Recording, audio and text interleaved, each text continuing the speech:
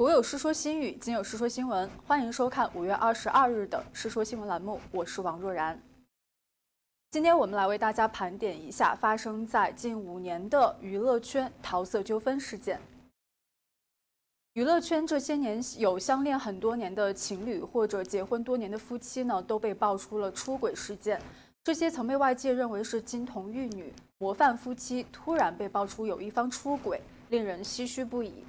比如最近在娱乐圈闹得沸沸扬扬的朱杨事件，小猪罗志祥和周扬青相恋七年，被传已经置办婚房准备结婚，但是近日竟然分手了。罗志祥被周扬青爆料在两人交往期间劈腿不同的女性，罗志祥多人运动、罗志祥手机等关键词都上了热搜榜。这件事之后，罗志祥又突然在五月二十日这一天一早呢。在微博和脸书上写下了长七千多字的文章，向自己的前女友周扬青忏悔，并且细数了两人过去交往九年的甜蜜点滴。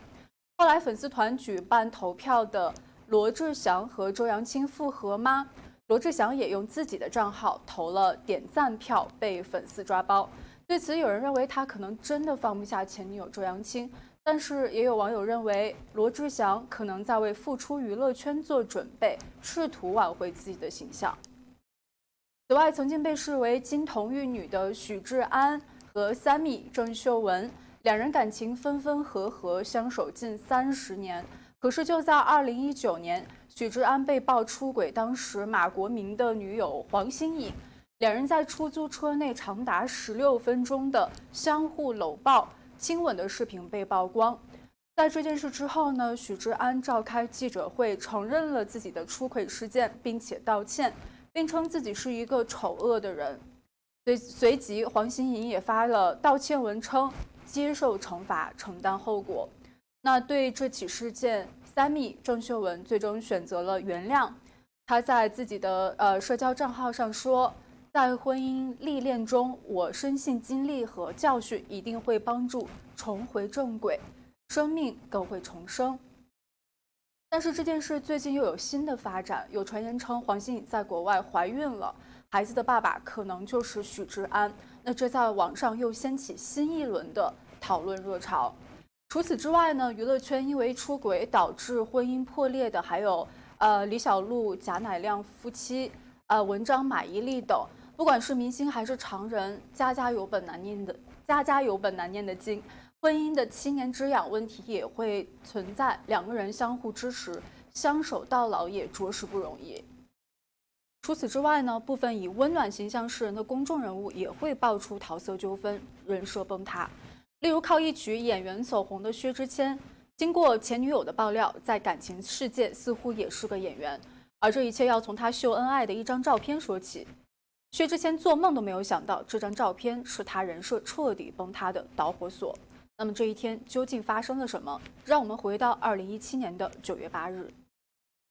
这一天，薛之谦在微博上抛出一张牵手剪影照片，并且配文：“我记得你跟我时，我一无所有，我不想再寻觅，请让我给你所有。”薛之谦深情表白的对象是刚刚复合的前妻高磊鑫。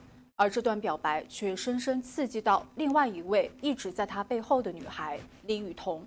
薛之谦秀恩爱，微博抛上网不到一周，李雨桐立刻发长微博大爆薛之谦骗财骗色骗感情，并且在接下来三天连续发布猛料。大致总结就是薛之谦爱上了李雨桐，却不愿意娶她，理由是前妻高磊鑫怀孕。薛之谦希望李雨桐与他一起承担支付给前妻高磊鑫的千万分手费。李雨桐曾经怀上薛之谦的孩子，但被要求堕胎，理由是孩子会影响薛之谦的星途。除了薛之谦，还有温暖大叔吴秀波也曾陷入到感情的纠葛当中。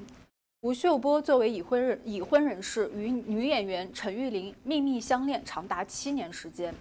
陈玉玲大爆猛料之后。吴秀波方曾与陈玉玲双方协议，女方出面澄清此事，吴秀波方将以经济方式进行补偿。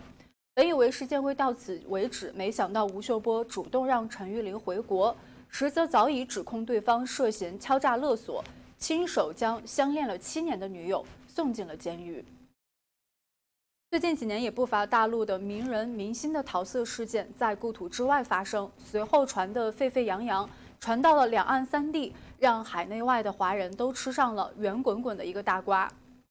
在二零一八年八月三十一日，京东集团首席执行官刘强东在美国明尼苏达州被警方逮捕，原因是涉嫌强奸中国女留学生刘静瑶。四十五岁的刘强东当时在明尼苏达大学的卡尔森管理学院参加项目学习。八月三十日晚间，他与女学生刘静瑶共同出席了一场晚宴，随后一起回到了一间公寓，发生了不可描述的事情。这起案件随后曝光的细节可谓是跌宕起伏、反转连连。最终，同年十二月二十一日，负责此案的检察官办公室宣布，案件存在严重的证据不足问题，最终决定不再以性侵罪起诉刘强东。然而，该事件却没有就此告一段落。二零一九年四月二十四月十六日，本案的女方刘静瑶正式提起民事诉讼。明尼苏达州的法院也在二十七日驳回了京东公司要求取消为刘强东进入公寓性侵刘静瑶负连带责任的动议。有当地的法律界人人士分析认为，法院的该裁定可以说是女方在民事诉讼上的一次初步诉胜诉。目前，本案的民事诉讼仍在司法程序当中。同年三月发生的一起类似的案件，也同样的赚足了眼球。二零一八年三月二十九日，中国男星高云翔在澳洲悉尼因涉嫌性侵一名三十六岁的已婚妈妈而遭到当地警方的逮捕。高云翔曾经呢，呃，当过职业模特，随后考入了上海戏剧学院，转行做了演员。那被捕时的他，因为之前参演的电视剧《呃芈月传》中扮演义渠王而备受关注。此次事件中，同样是细节疑点重重。而在其事发后呢，作为妻子的董璇曾经力挺高云翔，为高云翔交高额保释金，并且带女儿多次往返国内与澳洲之间。经过两年的官司诉讼，直到二零二零年的三月十九日，当地的法院才宣判高云翔无罪。然而，事件不仅导致了高云翔工作全失，还被案发前参演的一部新剧《阿青传》投资方提告。和董璇的婚姻也在二零一九年画下了句点，可谓损失惨重。